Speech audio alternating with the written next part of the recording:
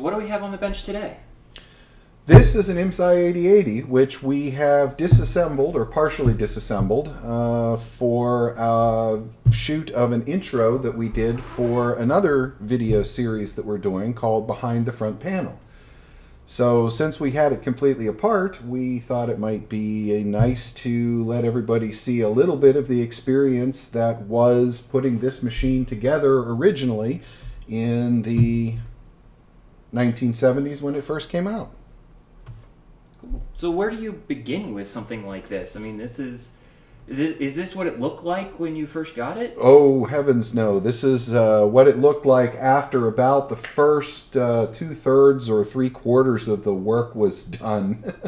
um, the machine, as it initially came, um, essentially came with a processor board, a RAM board, the front panel board, essentially all is bare boards. No components on them at all. No chips, no sockets, no anything. And reams and reams of parts. Um, all of these switches in a bag, all of these chips on static foam, all of these LEDs and other components in bags.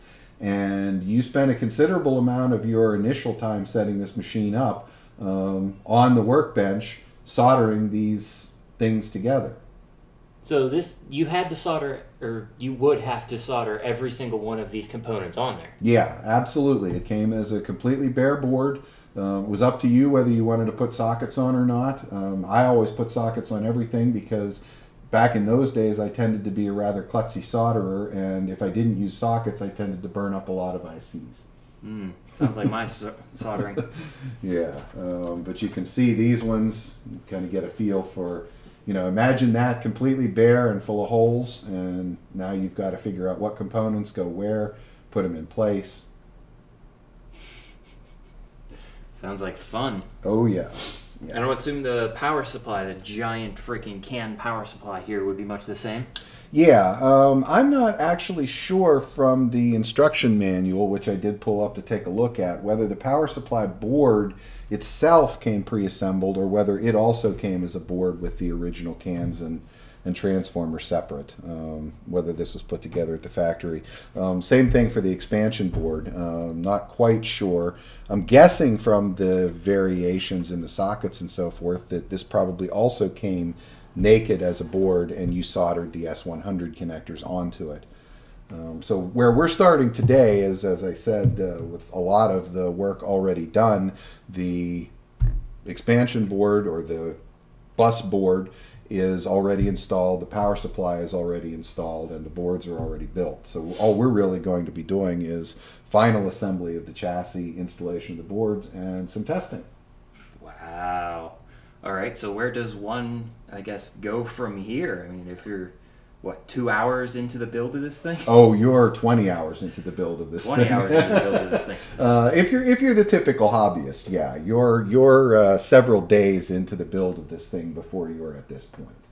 In mock terms, where we're starting in the instructions is the point at which we have assembled the base chassis, the motherboard, the power supply, and we've put the back piece on and we're at the point now where we're going to put the front support piece on the front panel itself and then the remainder of the front panel and the card supports that hold all of the cards in place. Mm. So we're following pretty much the instructions more or less in the order that they are in the original 1976 user's manual. We are just picking up uh, as I said, pretty far into the process. So, um, as you can see, our front panel was already pre-wired. Wiring in, uh, there was not an, a requirement to put a disconnect between the front panel and the machine itself. So in this particular case, this machine was assembled by somebody who chose not to put any kind of a front panel disconnect in. So the front panel is now soldered in, and in order to remove it, I would have to unsolder the wires on this side and that is the original owner's solder not mine so with the front panel support in place we're now ready to mount the front panel to it and that is done with a series of plastic spacers and screws a short spacer a long spacer and a screw. And there are just simply repetitive sets of long spacers, short spacers, and screws. Okay, so to assemble the front panel, we're going to start with the front panel. This is the front panel. It actually consists of a couple of pieces. It's a paper backed transparent overlay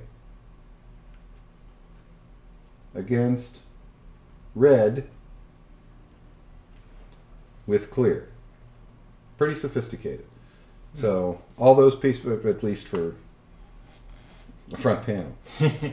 and then to attach the front panel to the actual front panel board, we'll use the spacers and screws.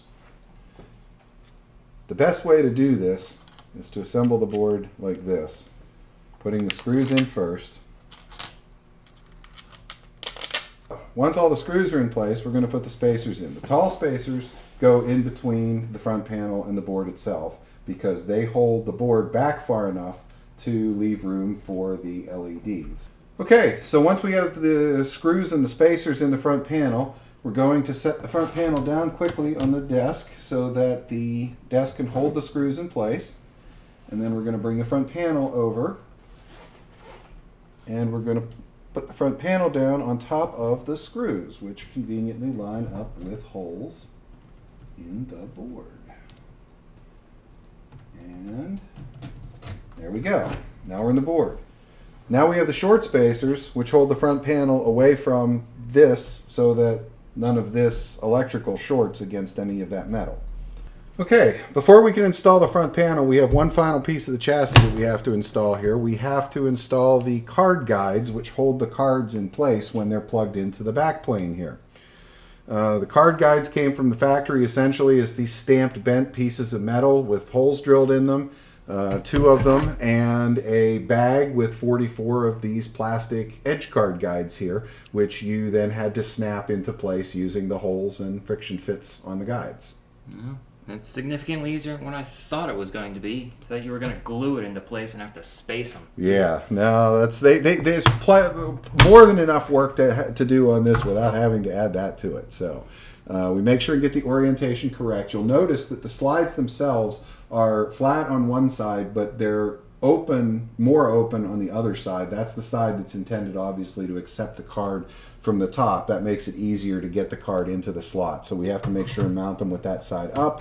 And in this particular case, because this has already been assembled, the sticker has also already been put on by the user uh, to warn of the dangers of high voltage in the power supply.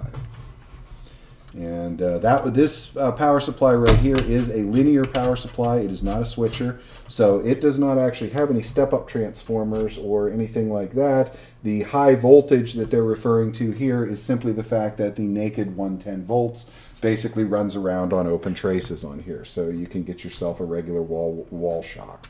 Uh, but it's not like a switcher where you can uh, literally kill yourself on thousands of volts. Okay, before I tighten these down,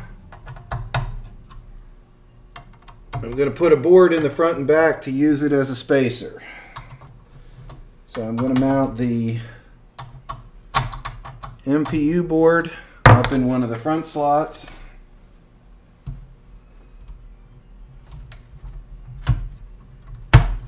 And I'm going to mount the RAM board in one of the back slots.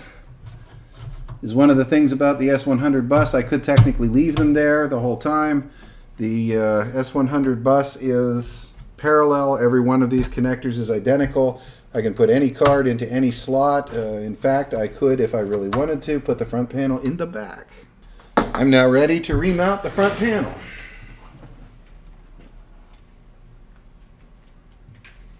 I'm going to carefully bring this up and I'm going to set it in place and I'm going to juggle plugging this in with trying not to knock these screws out. So I'm actually plugging this front panel into the first motherboard connector, which sticks out in front of that support that we mounted earlier. And I'm getting that weaseled into place which I just did, and foul number one. Now that the front panel's in place, I can tuck the power wiring out of the way, and I can remount the remainder of the front panel.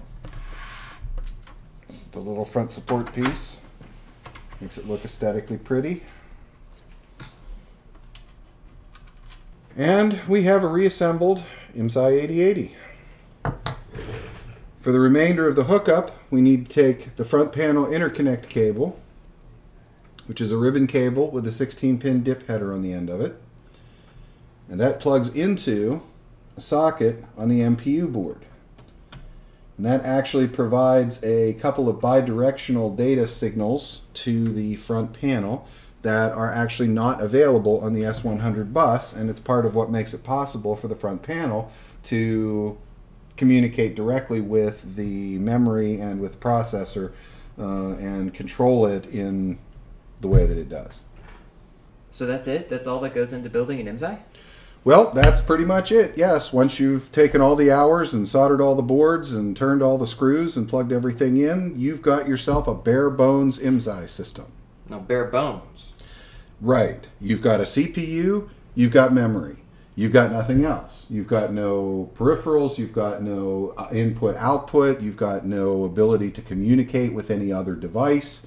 Um, you've got no storage of any kind, disk drive, tape drive, anything like that. You've got a CPU and you've got RAM. So this thing had the ability to do significantly more than just make the front panel flash. Oh, yes, yes. But uh, obviously, that requires more boards than what's in it right now. What we're going to do to test this is we're going to demonstrate the actual bare bones functionality of this machine by using the front panel to show what the raw processor and memory actually do in conjunction with the front panel. Um, but uh, that's only the starting point of the machine.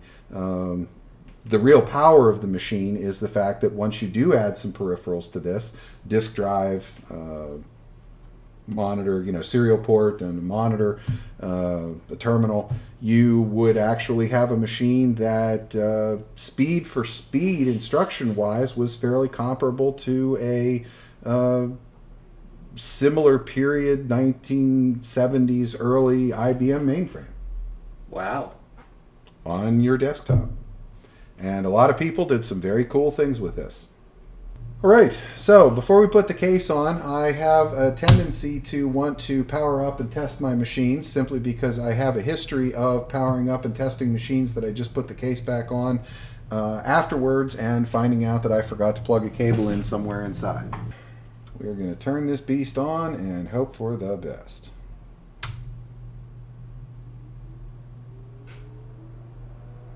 Okay, so far so good. What we're seeing is pretty much random and that's because the machine boots up in a pretty much random state. So what we are going to do to clear it is hit reset. Okay, something is wrong. The 7 light should not be flickering. Now you see why we didn't put the case on. Start out by putting the memory back where the memory was. See whether that makes any difference. Make sure that the cards are seated correctly. Yes. Solidly, I should say, not correctly, because they are seated correctly. Yeah, they are correct. They're solid. The uh, indication with a flaky data bus byte is this ribbon cable having not been seated properly.